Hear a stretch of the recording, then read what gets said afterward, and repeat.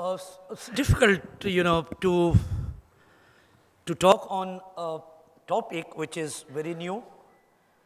However, I tried my best to review the literature in past two decades to, to understand why this trial of canagliflozin in a patients with diabetic kidney disease called credence should be called incredible. Why this is a big deal and to understand that I need to go back to all the trials conducted uh, in patients with diabetes with uh, kidney disease as well as patients with chronic kidney disease with or without diabetes. So, I will take you through the trials, quickly their results and to understand how the credence comes in the context of all the big trials in the past two decades. So, when we look back into the trials conducted in diabetic patients with nephropathy, remember these are exclusive diabetic chronic kidney disease trial. And if you put it in a chronological order, and unfortunately I had to make a comment that let me talk about the series of negative renal trials in diabetic kidney disease. So, it is not exactly renal, it is basically a cardio-renal trials. Majority of them looked for the renal endpoint primarily and also looked for the cardiac endpoint. For example, 4D was a study conducted with atorvastatin as you all know, 20 milligram versus placebo and the primary endpoint was the composite of 3P MACE.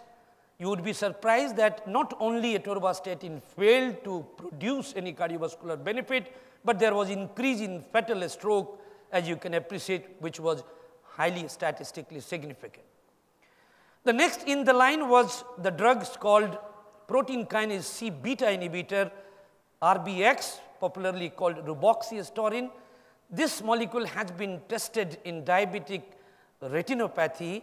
So, we have a meta-analysis from the pooled data of three diabetic retinopathy trial where the renal endpoint was the secondary outcome and you could, could make out that this newer molecule which was initially exciting to be didn't show any benefit in renal and the eye outcomes uh, in this particular trial. The other way to treat uh, diabetic kidney disease was to correct hemoglobin and people thought that if you correct hemoglobin by giving a erythropoietin kind of derivative, so this is a called, trial called TREAT. It was done with darbepoetin alpha and uh, in the active arm the HbA1c was raised at least 2 percent uh, hemoglobin was raised 2 percent higher than the placebo and there was no benefit in the primary renal or cardiovascular endpoint. Unfortunately, there was increase in the stroke by 92 percent with a highly statistical p-value. The fourth trial was done with uh, another newer, uh, at that point of time, exciting molecule called ebocentan, which is a non-selective endothelin A receptor antagonist, had few pilot studies suggesting benefit in proteinuria.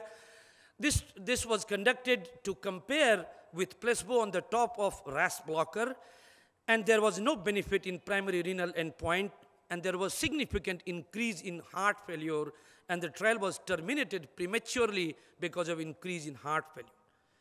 The another group of investigators thought that a TGF beta inhibitor, you know, by virtue of reducing fibrosis in the kidney, might be useful in diabetic kidney disease. So, pirfenidone, which is a TGF beta inhibitor, was compared to placebo and, and looked for a renal endpoint, which was the progression of EGFR.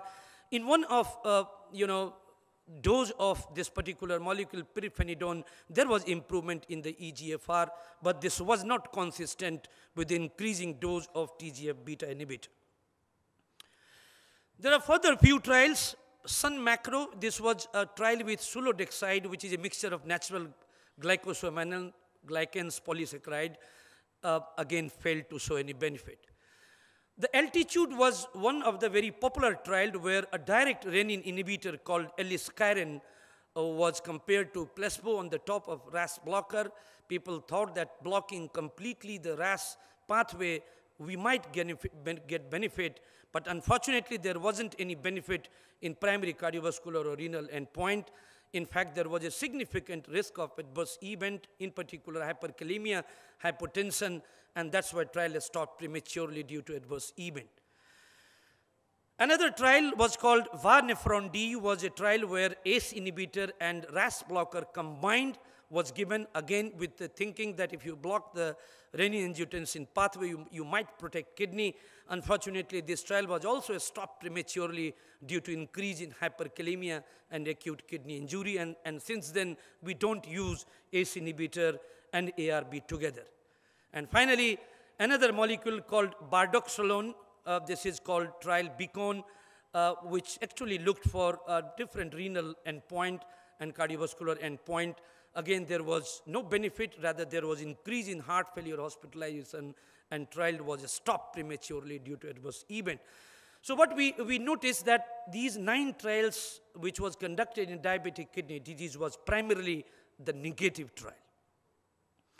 If you see the trials conducted in a patients with chronic kidney disease, where diabetic patients were also included, so I have uh, put into the bracket how many patients were having diabetic kidney disease. The trial which actually targeted for hemoglobin normalization with erythropoietin, you can see two trial didn't show any benefit in the renal endpoint. The trials with a statin called Aurora, this is a trial with rosuvastatin, didn't show any benefit. We talked about 4D with atorva. Now this is Aurora with rosuvastatin, no benefit in a patients with a chronic kidney disease, including diabetic nephropathy. People also tried to look into other aspects to correct bone mineral disease in chronic kidney disease and again unfortunately failed to produce any benefit. You can see DECORE done with sevelamer failed, the EVOLVE done with cinacalcet failed, the PRIMO done with vitamin D, paricalcitol failed. People also looked whether by decreasing homocysteine you could protect kidney and uh, two trials with folic acid or combination of folic acid to vitamin B6 or 12 ASFAST and host again didn't find any benefit uh, in progression of chronic kidney disease including diabetes. The only positive trial which is there uh, partially I would say positive is called SHARP. 20% uh, patients had diabetic kidney disease. This was done with simva and ezetimibe. Uh, this shown reduction in the MACE by 17%, but please remember in SHARP trial, patients with CKD uh, having established cardiovascular disease were excluded from the trial, thus limits the applicability of the SHARP trial. When it comes to the diabetic kidney disease, and if you see the range of hope of any drugs which has been able to reduce the progression of diabetic kidney disease, came first in 2001 in the form of IRMA-2 trial. This is a soft endpoint trial with irbesartan and which shown to reduce the progression from micro to macroalbuminuria. Independent of BP reduction, you can see there was a 70% reduction in progression of from micro to macroalbuminuria. However, this is a soft surrogate endpoint trials and we need to look into the hard renal endpoint. Uh, on the similar uh, you know, issue of NEJM, two more trials, which was basically uh, on hard renal endpoint trial, uh, the IDNT with irbesartan and RENAAL with losartan, and where there, uh, the primary composite renal endpoint was this, the you know, standard uh, the renal endpoint like doubling of creatinine, development of ESRD, or death due to either renal or cardiovascular cause. The first trial uh, which shown progression of diabetic kidney disease was with irbesartan and the losartan, and that's why we, since 2001, we use ARB or ACE inhibitor as a first-line drug uh, to progress, uh, you know, to protect the progression of diabetic kidney disease. Uh, very recently, two more trials. Uh, so the SONAR and CREDENCE was, you know, fortunately simultaneously presented at uh, World Congress of Nephrology uh, last year. And uh, the atrasentan was the, you know, same, the ebosentan derivative from the ASCEND trial, but this is very selective endothelin A antagonist. And you can see uh, this molecule, uh, you know, this time shown the reduction in the progression of diabetic kidney disease by 35 percent but the lingering problem with this class of drug was the heart failure, as I talked about with ebosentan, did persist in the SONAR trial as well, although it wasn't statistically significant. Uh, but uh, despite reduction uh, in the primary renal endpoint, there was 33% increased signals of heart failure with atrasentan. Uh, on the same day, uh, the trial which was presented was Credence, and this is what I'm going to talk why this is a big deal. This was a trial, renal endpoint trial with canagliflozin 100 milligram versus placebo on the top of RAS blocker. And I will take you through the details. There was significant reduction in the primary renal endpoint and also of the secondary cardiovascular endpoint. And you can see the difference between sonar and credence that although the sonar also reduced renal endpoint similarly like credence, there was increase in heart failure signal in the sonar, whereas there was significant decrease in heart failure in the credence trial. And that makes, uh, you know, these discussions live.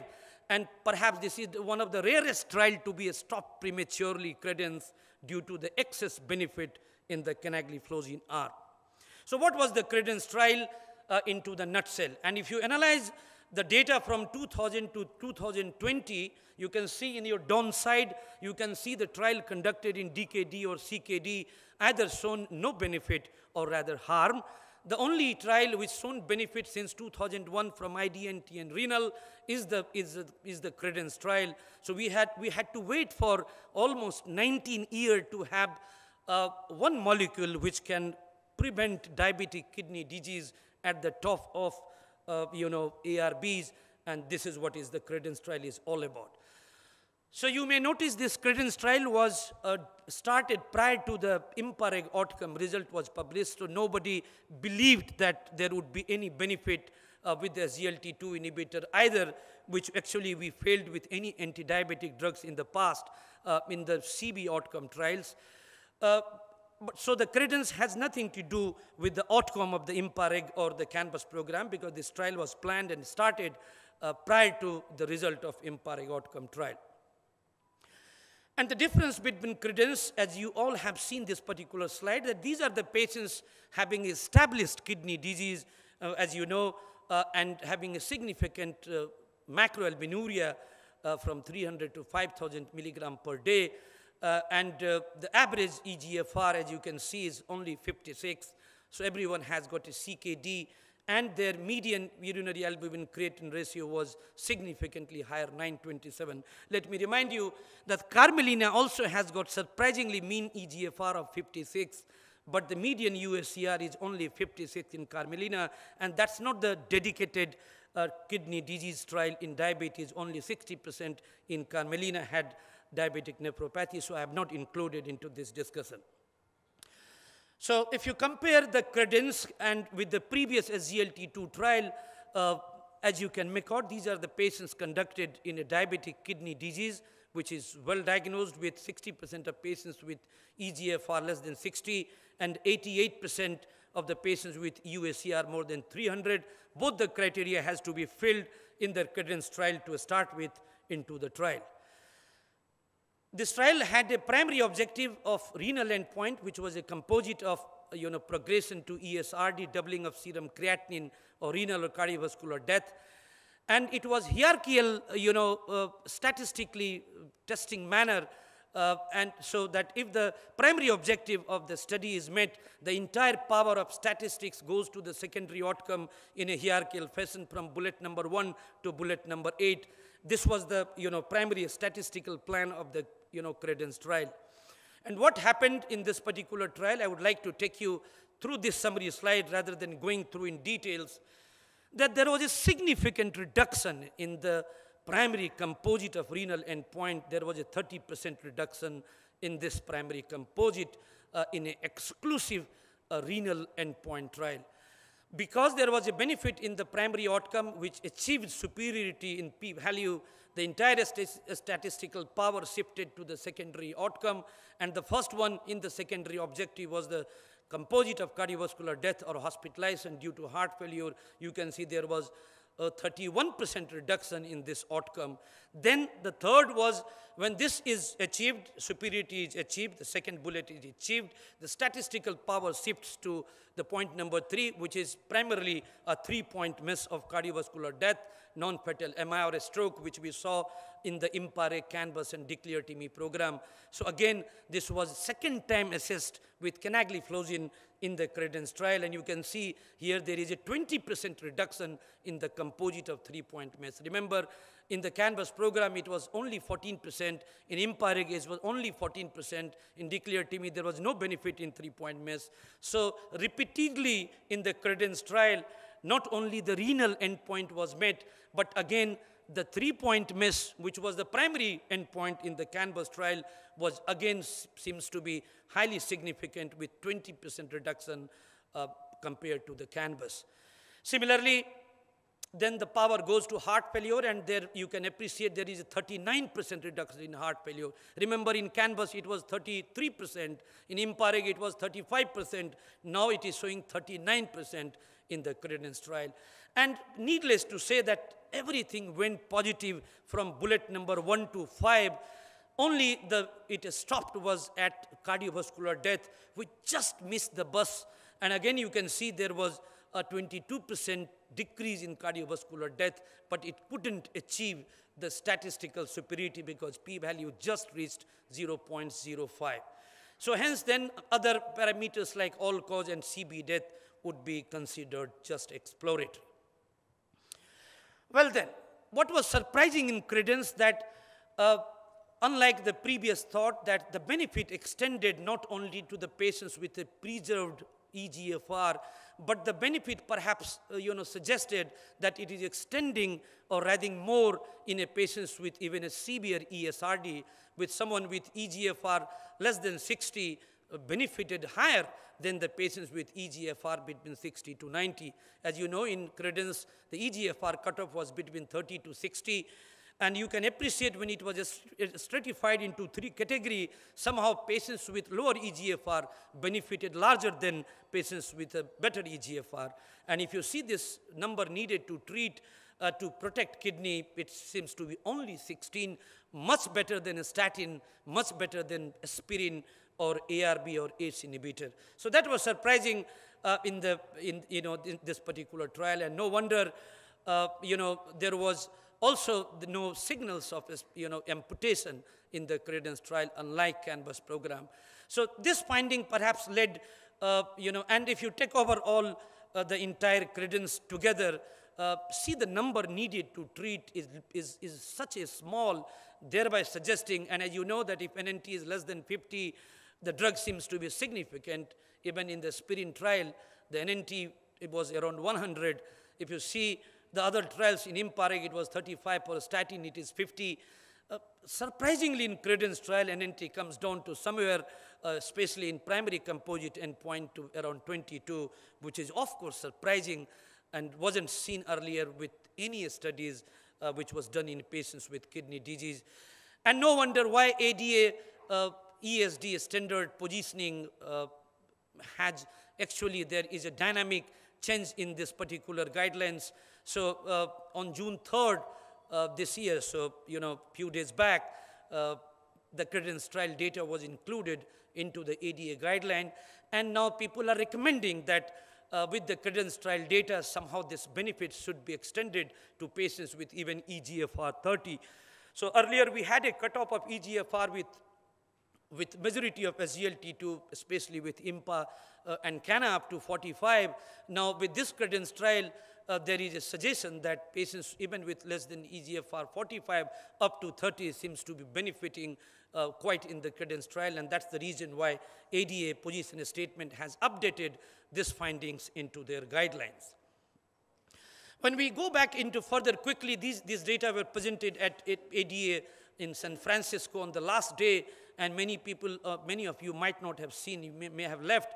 So they divided in this, you know, entire credence trial into primary and secondary, uh, you know, uh, uh, population. And what was surprising to note that if you see the renal endpoint on the basis of primary and secondary prevention cohort, the surprising, the benefit extended in a patients with a primary prevention cohort means patients with kidney disease who didn't have established chronic kidney disease, uh, established cardiovascular disease also seems to be benefiting uh, from the credence trial. So this was about renal outcome.